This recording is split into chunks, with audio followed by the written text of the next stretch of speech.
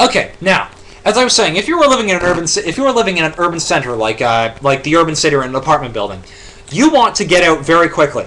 If you were living in an apartment building, gang up with the rest of the people in your group and go out as a mob with whatever weaponry you can find, even if it's only close range and handheld.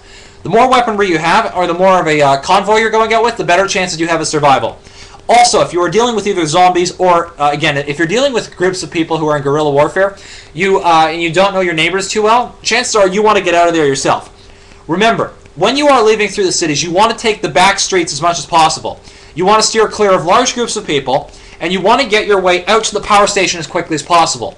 If you are living in an urban city center, hit your convenience stores, hit your grocery stores, and everything else like that. Especially the people who are living in scenario one, living out in the suburbs, when they're combing through and getting hospital supplies and the like, uh, will be able to um, won't have to go back to try to get all these supermarkets and won't uh, be dealing with food. Remember, everybody converge on your local power station. The more people who can be able to, uh, you know, then you can gear down and get some level of order in society here. Uh, remember, the reason for this, of course, is that, uh, again, we're assuming a post apocalyptic world society here. So, the few of you who want to do that, you want to be able to get on your local power station and gear down as much as possible, but still be able to maintain a semblance of society. The next thing that you're worrying about is, um, again, once you go back through, you want to comb uh, through your local cop shop to get whatever weaponry's left. You want to comb through your local hospital to get um, medical supplies and all that. Now, here's what how you're going to set up your community. Um, again, this is part five. I'm trying. Okay, now hopefully, uh, by now you've already been well stocked. You've got all the equipment that you need, but you probably don't know how to set yourself up. Chances are the bulk of you uh, may know enough about it. There may be a couple of uh, of working engineers in your area, but I doubt very much that there are probably people who, if you're living in the suburbs or the urban city centers, uh, you might be living with. Uh, you might be able to find someone. Now, hopefully, enough of you have moved through the local area that um, hopefully enough of you who moved through the local area that there's at least a wide range of people with expertise. There may be some people who already know how to equip sewers and the like.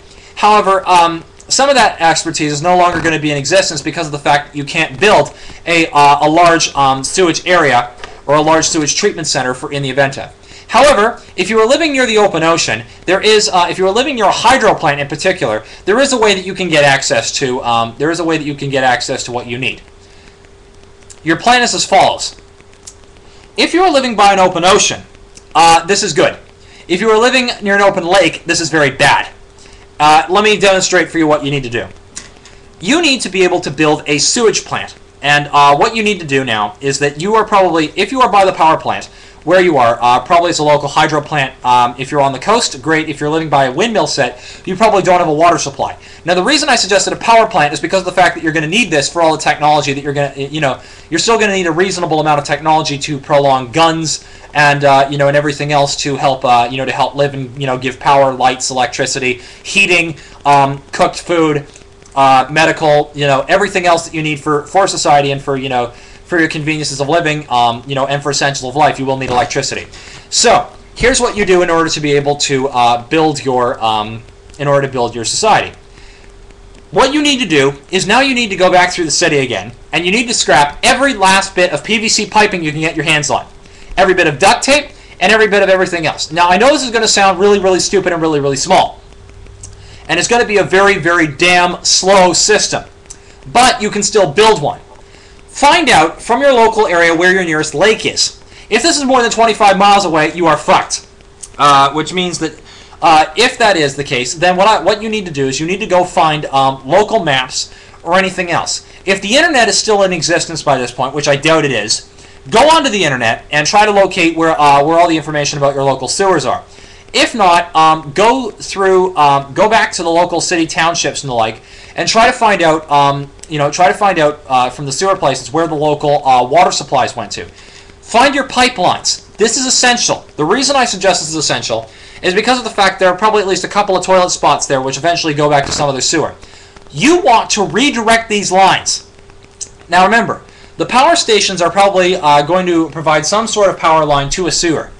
Um, you want to get those sewers up and running again, uh, which means that this is one of the two scenarios. You want to get those sewers up and running again, so you have to send back in and try to get, um, you know, get, at least provide enough power from your local area to divert the sewers. The problem is, for the most part, this is too impractical for where you're living. So there are a couple of options that you have available in order to be able to handle this. One of which, convert entirely to a vegetarian diet. You uh, build outhouses, and then you compost that poop and use that as fertilizer in another area. Unfortunately, there are a huge amount of tapeworms and uh, and and germs in human feces, which will eventually, um, uh, which if you put them back on your crops, uh, if you're later farming, this could become a problem. The second option is just to um, is just to re um, is to keep digging latrines farther and farther back out away from your land supply until each one has been filled up and you've buried it. Problem with this one is eventually you will run out of land space in your local area. The third option is to build an aqueduct. Now this, of course, is where the PVC piping comes in. Um, again, this is highly impractical and highly, um, you know, highly dealt with it, but it is a way to build a sewer. What you do is as follows. You dig a latrine out in the ground. You also then tie yourself to a local lake. Uh, you, you build a local lake and you build yourself a mechanical-based system of aqueducts. The Romans were able to do this relatively effectively, but they had, you know, uh, 20 to 30 years and a whole bunch of slave labor to do it. You don't have that, so you're going to have to do something considerably uh, broken down, which means you need multiple layers of, of the biggest PVC pipe you can get your hands on. What you do is you build a pump in a local area. You pump water through uh, to be able to get, uh, you know, in major quantities as much as possible out of this lake. To be able to, and you do this for multiple lakes, to be able to, um, preferably one lake for your sewer, one lake for your drinking water um, you know, a local area for your water supply, um, if it's a spring or something like that, and uh, a farther away area for your sewer water. What you want to do is you want to build PVC pipes to connect through to your latrine. You build, you put a pump, you pump the water through, the water goes through naturally. Here's the thing: you want to make sure the water is running constantly. Um, you cannot afford to have this water stop. This, uh, what you will do, and then you build a giant communal latrine, much like a standard toilet seat. The toilet water, uh, what happens, the um, uh, here's what you do. You build the toilet directly over a stream of running water. And what you will do is uh, you take a shit in it, and uh, basically what you do is you take a shit in it, um, and then it goes through, uh, and then you either build your chemical treatment plants, so this way you can drop into the ocean, or uh, if you're working with two separate water supplies, you know, which are you know very equidistant, you know, further distance away for your, um, you know, um, further distance away for your uh, for your uh, shitting supply, for your toilet supply, closer one for your drinking supply, and above all, do not mix the pipe uh, the piping systems for both. You want to keep two separate systems for one for the water pump uh, local, one for the uh, um, uh, for the shit supply. What you want to do for the shit supply is that you build this is that you constantly have this um, thing of water running underneath.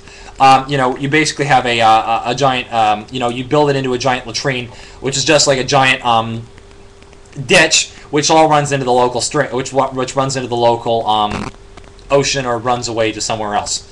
Now the thing, of course, is, is that when you do this, uh, you preferably want to build. Uh, you want to do this with flushing water, so this way it will go um, away. Preferably get your uh, and as you do this, um, you know, just build enough rushing water constantly underneath. So this way, as you take a piss or a shit into it, the um, as you drop, uh, you know, say five, ten feet down, what it will do is it will take the shit and it will actually sweep it clean, uh, you know, clean out into, say, a river or into something like that, which will eventually take it back out to sea. As long as it's in the ocean, you're safe. That's what you want to do for there. Now, building your machine shops and uh, other stuff like that. Again, remember, you want to use power. You want to be able to um, you want to be able to build uh, build enough electricity so this way you can organize your system, get electric heating, electric lighting, um, you know, there's still plenty of other stuff that you need for society based on that. You may also want to be able to have it to power electric cars, so this way you can uh, also have a fighting force. Now, by this time, um, there's a couple of other things I want to mention. If you are out by a power station, uh, as I suggested, hopefully you're out of the city in an area which is, you know, uh, near a coal power plant, a windmill power plant, or preferably a hydro plant. Hydro plants are some of the best because, of course, you're close to a water supply. See latrine for details. The next thing that you want to work with is um, an organizational system. Uh, the other thing you're also wanting to work with is developing a full-scale military basis and uh, prolonged food type deal. Solar panels, assuming that you've uh, solar panels or your or your power supplies, assuming that you've got enough plastic, uh, you can recycle silicon and other stuff like that for um, or plastic for windmills if you need to. But assuming that you have enough supplies for this, um, you can last your windmills or your other parts maybe say up to 20, maybe 30 years, assuming doesn't assuming nothing breaks. After that 20 to 30 year epoch, well, actually no. Uh, for that 20 to 30 year epoch, you're still going to need a food supply after the canned food has gone out. You need to start learning how to farm. That's why I would recommend at that point you start chopping down any trees in that area and start building little land plots. Gardening um, in backyards is a very good thing to train. Um, you know, city gardening for 40 to 50 people is very sufficient.